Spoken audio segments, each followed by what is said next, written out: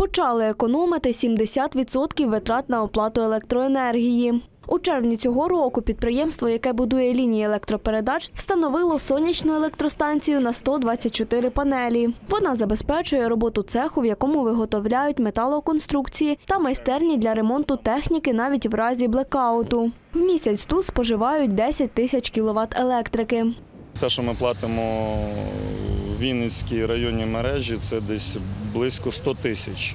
А економія, ну якщо на сонці, так як я казав, при максимальному е, подачі сонця з 12 до 3, ну десь економія до 70 тисяч місяць. Окупність цього нашої електростанції ну, десь півтора-два роки. Інша частина електростанції два інвертори.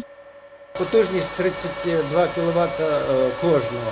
У нас два трансформатора і на кожний трансформатор по кожному інвертору по 32 кВт.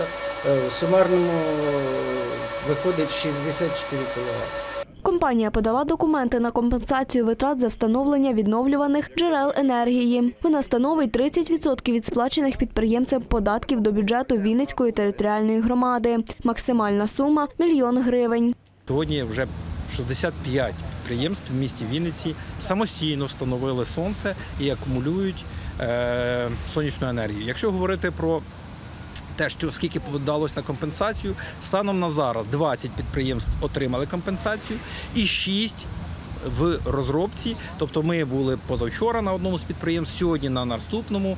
Ми плануємо 6 цих підприємств об'їхати, передивитися, чи відповідають вони критеріям програми нашої.